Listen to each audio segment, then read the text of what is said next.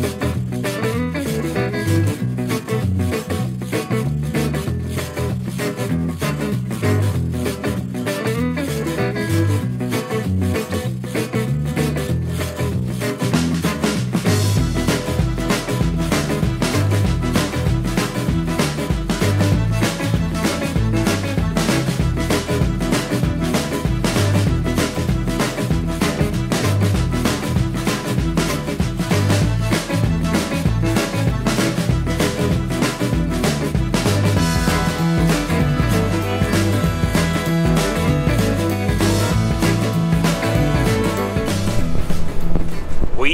on a mission. Home is at the end of this road today. About four, four and a half hours away. Well, from where I gotta bring the trailer anyway. And then we're going home.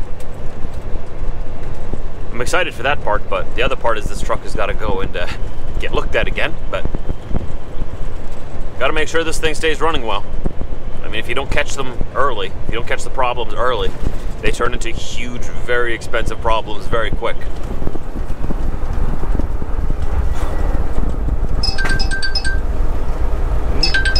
Hi. COVID-19 information for you. Okay. Yep. That all? That's it. Okay. Out. Thank you. Thank you. Thanks.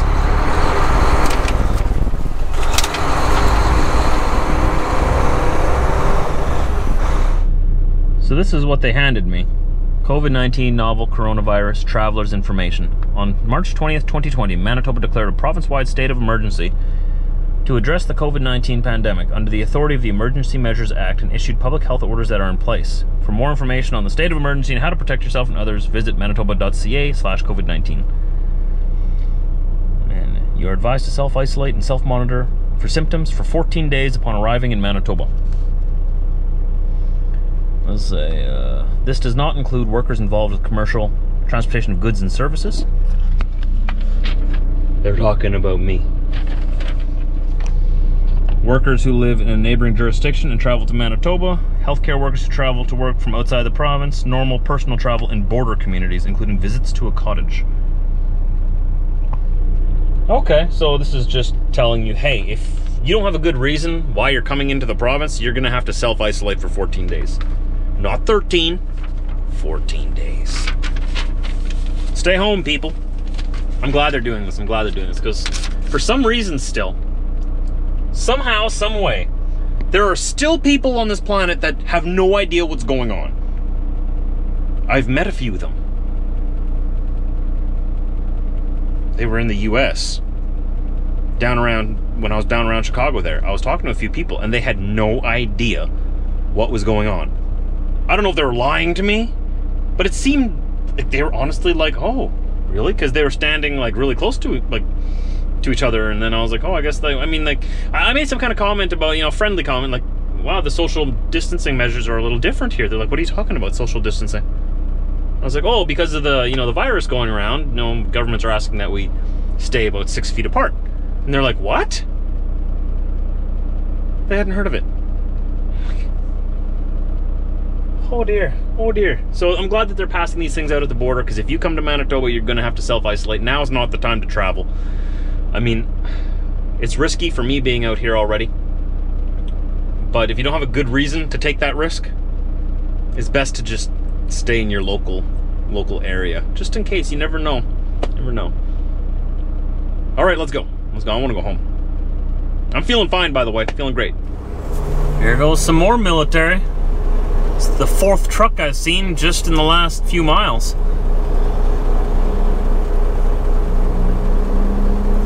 So, so I've seen about a half dozen trucks just today in the first hour of driving already. So much military being moved out east. You, you, you might have answered in my comment section yesterday already because I was talking about it yesterday. You guys know what's going on? Why are they all going east? Is there any coming back west or what? Are you just leaving us defenseless out here or what? Gotta fend for ourselves? If possible, and then turn right into 100 meters. Here in Headingley, Manitoba, just gonna grab some fuel before we head home. Now, gasoline is 66.9 a liter, but diesel fuel is $1.10 per liter. That's almost twice as much. What's up with that?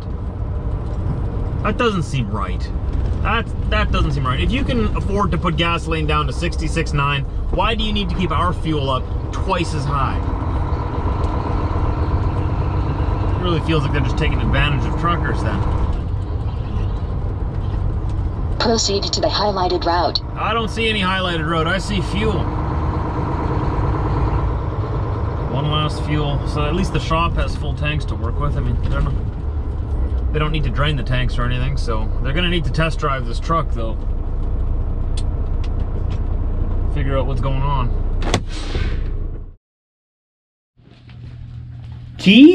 Diesel! Everybody missed you! Diesel Weasel. Chevy, Wiener, you gotta stay here. Wiener, can you stay inside? We're gonna take the big guys. We're gonna go on a little walk around the yard. Look at this, Chevy. We have our yard back. Chevy, come on. Where's your stick? Go. Oh, is that your it is. stick? Get it. Is that your stick? Get it, Chev. This is it right here. This is my stick. I'm the branch manager. Diesel's my assistant branch manager.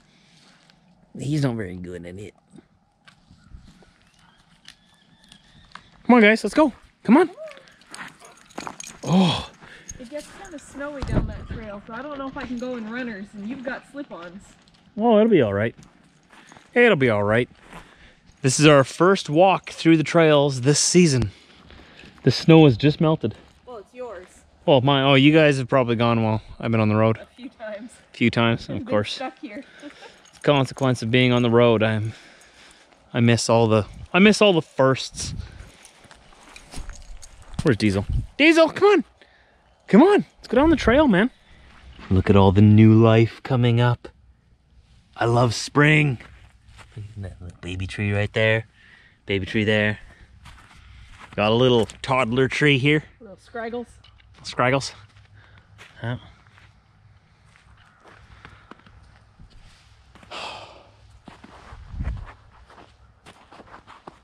I love spring.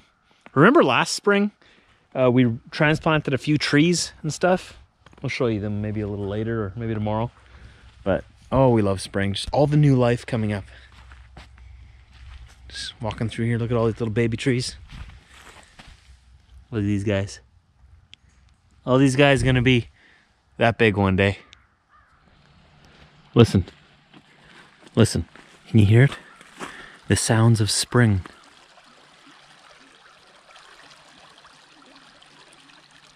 Oh, it's wonderful. It's wonderful. Nature. You know, we hibernate for the winter, and uh, us Canadians, we come out around this time of year, and it's so exciting. Not gonna lie, it's so exciting. A lot more snow on this side. Brit warned me about it. This is where our new trail is gonna go down over here. That's too deep to go down and check out right now. But, oh yeah, look at this. It's pretty deep here. Oh, oh, got snow in my shoe. Oh, dang it. Ah, well, we're, we're going for it. We're already committed. We're this far. Why was there no snow on that side and there's so much snow on this side? What?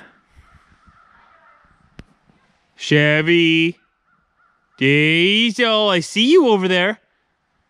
I see you. You see him? Hey, boys. Hey, boys, come here. Come here. A wild Chevy in his natural habitat. And a wild weasel, man. A lord weasel. This is my realm. I'm lord of the weasels. Come on, let's go. Come on. Come on, bud. Brit went the other way where there wasn't so much snow. Oh, it clears up over here. Don't worry. Don't worry, right, Diesel? Right, Diesel? I missed you, bud. I missed you, man. That's crazy. Oh, see here? All the snow goes away here. Oh, much better. So, this spring, actually the next couple of days, I'm going to be working on cleaning this up as much as I can. I'm not going to be able to clean it all up because that's going to take a long time, but I want to get as much of this tinder out of here as I can. Like it's it's like a tinder box. That's why I call it tinder. All these trees that have fallen over. It's almost like they were piled here purposely. by previous owners. I want to get it out of here before all the grass grows and you know, sort of swallows it up again. It's much harder to do it during the summer. Diesel. Come on, bud. So apparently, uh, there's a hornet's nest around here somewhere. Where?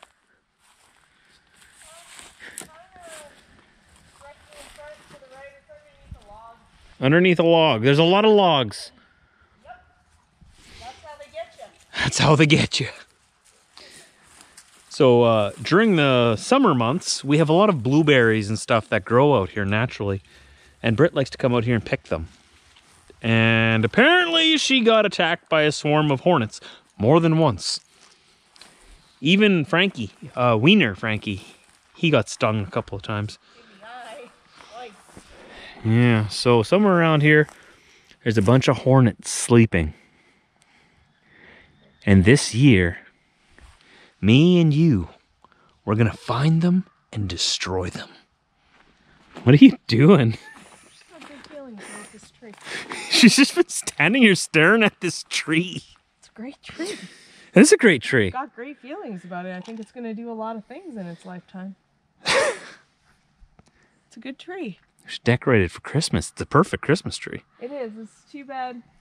We could get rid of all these deadish ones. No, they're still living. They're just ugly trees. Yeah. I don't like these trees very much. What do they call again? Jack pines? Uh, yes, I believe so. Jack pines. So they stay green all year, but they're not really very good looking Or are trees. they northern pines? I can't remember. Northern pines, Jack pines. They're very similar anyway. yeah. I like this one. Very nice tree.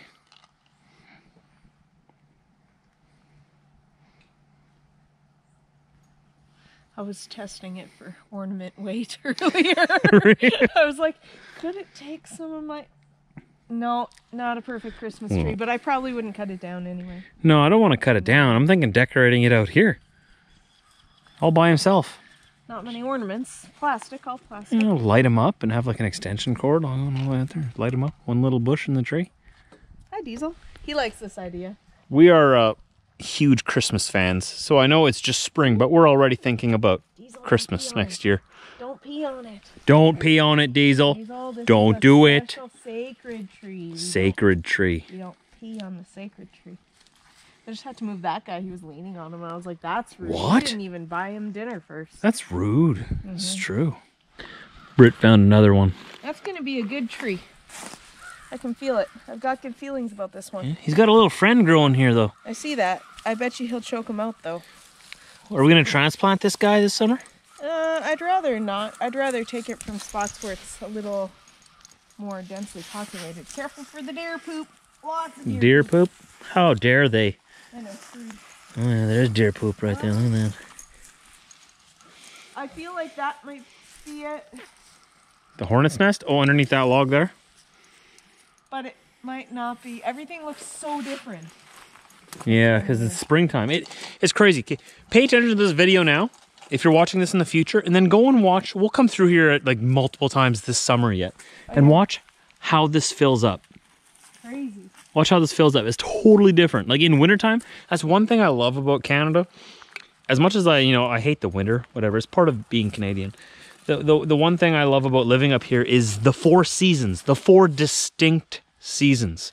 You get winter, spring, summer, fall, and our whole property is completely different in every season. So it's like we get a whole new property every season, four times a year. And every year it's different because everything like new grows. Like What's that? That last half of our forest is Mm-hmm. completely pink. In is it the end of June, early July? Might be mid July. Anyways, all roses, all of it. It's like magical. We live in a magical place. I love this country. Not everything about it, but I love this.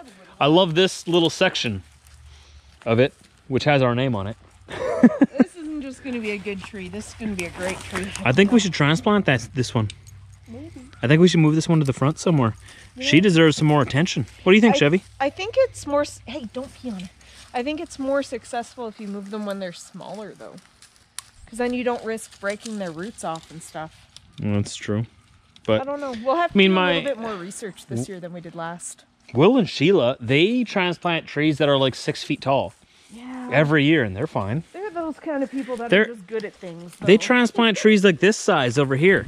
Like, look at this. This one's taller than me. I guarantee you, Will, if you're watching this right now, you're probably like, yeah, I'd transplant this tree. Look at this. This one right here. That's a great tree.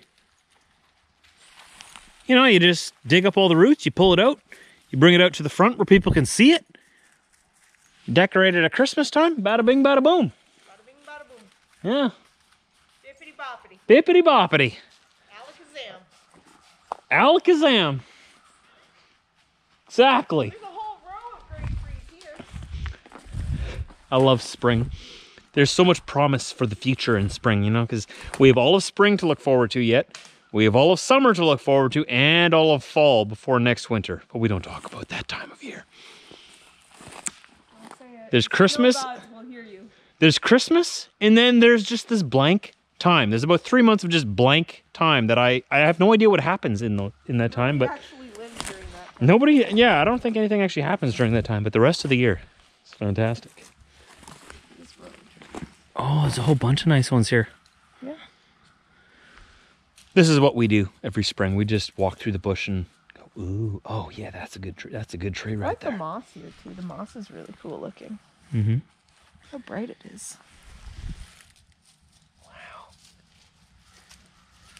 Miracle of life. Mm -hmm. It's beautiful. New life every year. We got Diesel right here. Where's Chevy? Oh, he's over there. Chevy, you better not be eating deer poop. Oh, I can bet money that he is. Chevy. Chevy, come here. Get it.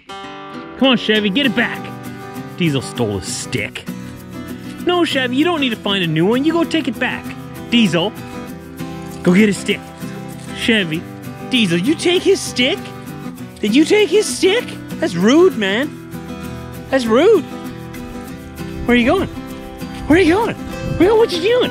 What you doing? What you doing? Hey. Oh, Chevy got an even bigger one.